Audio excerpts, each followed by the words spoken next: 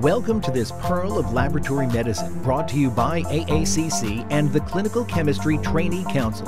View this and many more pearls as well as other free educational material at traineecouncil.org. Hello, my name is Seung Kwon.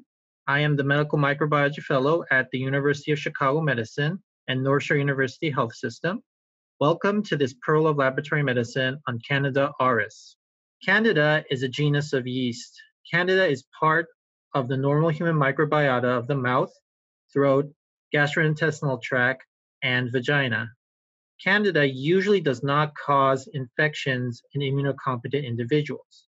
However, when someone becomes immunocompromised, Candida infections can occur and is called candidiasis.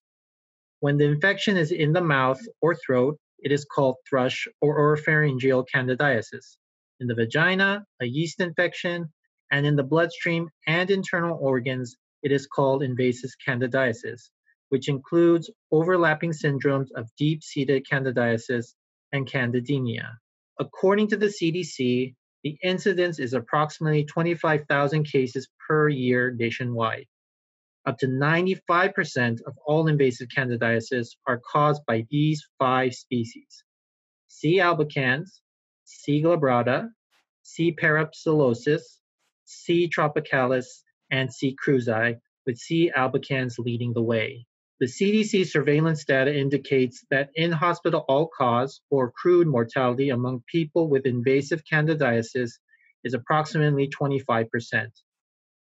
The caveat, though, is that these patients are typically already sick with other medical conditions, thus, the direct attribution of death due to the candida infection, and in turn, the true mortality is unknown.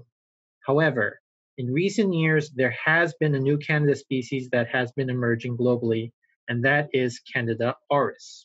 C. auris was first reported in 2009 from the ear discharge of a patient in Japan, and the first documented bloodstream infection in a South Korean patient in 2011 who had persistent fungemia while on fluconazole and amphotericin B. As of March 2020, the organism has been isolated from several body sites in multiple countries on five continents. To give you some context on how alarming the spread has been, in sub Saharan Africa between 2010 and 13, C. auris was the most common cause of hospital onset fungemia, consisting of 38% of all fungemia. In South America, between 2012 and 13, C. auris was the sixth most common cause of bloodstream infections. In India, a study covering 27 intensive care units in 2011 and 2012 reported C. auris as the fifth most common species isolated from patients with ICU onset candidemia, and in London, the prevalence of the organism is now about 0.04% in cardiac thoracic centers.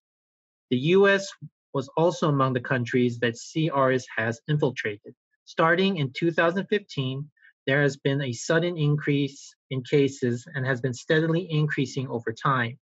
For the most part, states with large metropolitan areas such as New York, New Jersey, Illinois, Florida, and California have seen the most cases, especially in long term care facilities. New cases, however, have also been popping up in other states as well.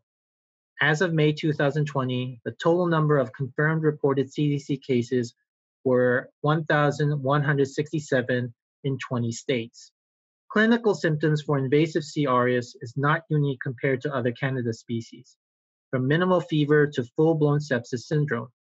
Types of infections reported in the literature include blood, central venous catheter tip, central nervous system, upper and lower respiratory tracts, urogenital system, abdominal, skin, wounds, soft tissue, and bone. Like other Candida species, critically ill patients are infected, and thus the true mortality is also difficult to determine.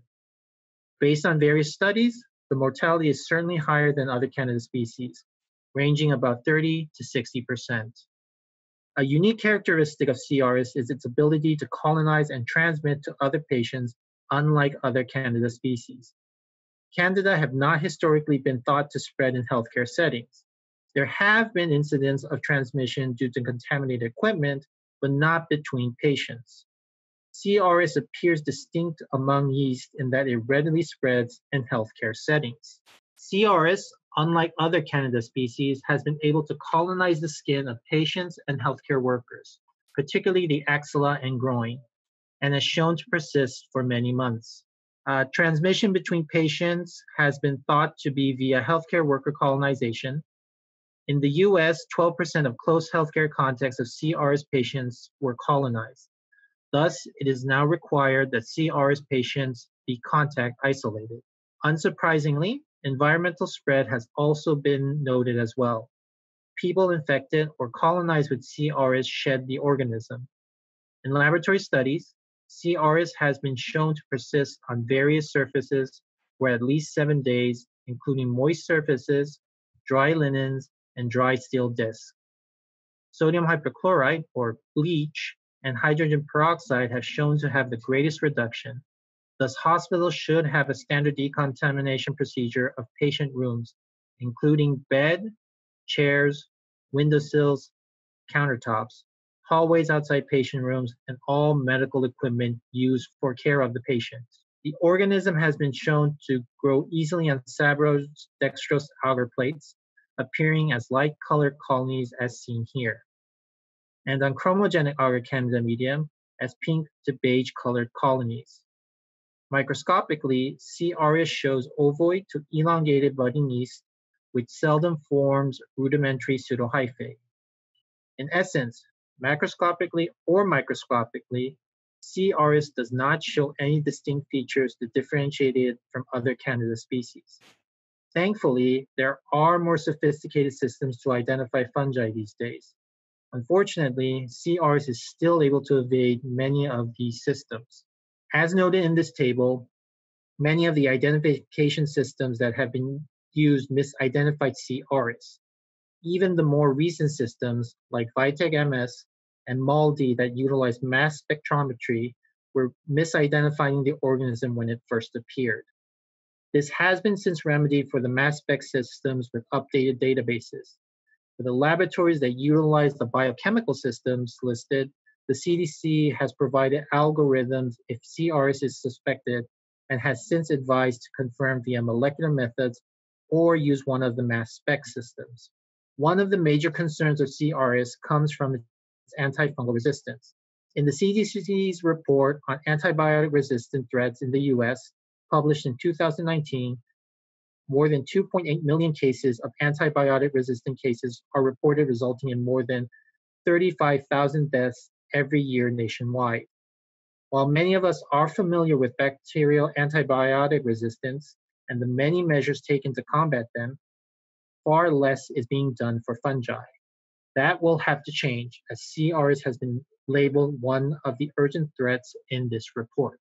The antifungals can be divided into three classes the triazoles, which include fluconazole, polyenes, which include amphotericin B, echinocandins, which include caspofungin. Among the 54 isolates of C. auris from the various countries, over 90% have been fluconazole resistant, 35% amphotericin B resistant, and 7% echinocandin resistant. This is also reflected in the US according to the CDC reported data although this can differ depending on region. Chicago isolates tend to be less resistant compared to New York. Among the US isolates, 41% were resistant to at least two drug classes, and two isolates were pan resistant. The resistant mechanism of C. auris remains under investigation, however. There have been some clues to propose some possible ways.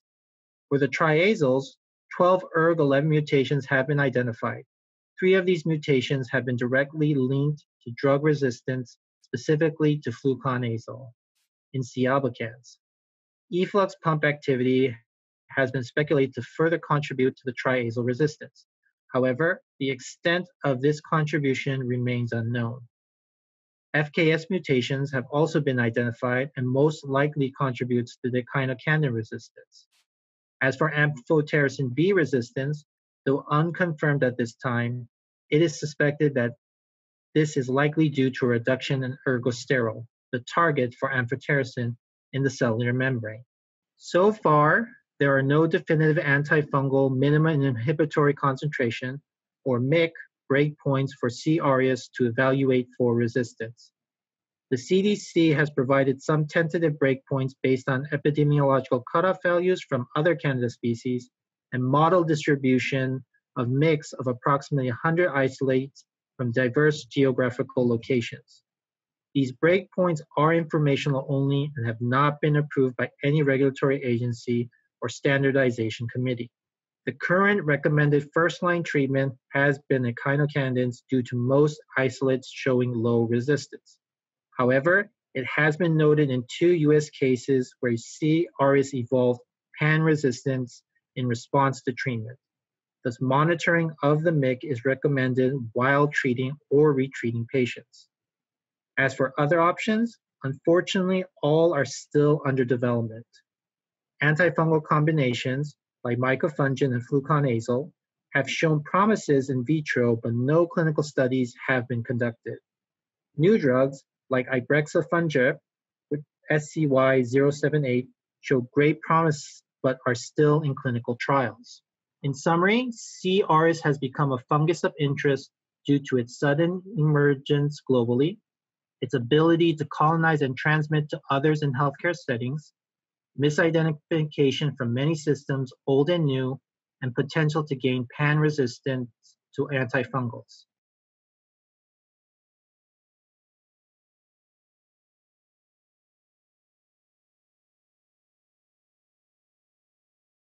Thank you for joining me on this Pearl of Laboratory Medicine on Candida auris. For more like this, as well as articles, podcasts, and more, please visit the Trainee Council at traineecouncil.org.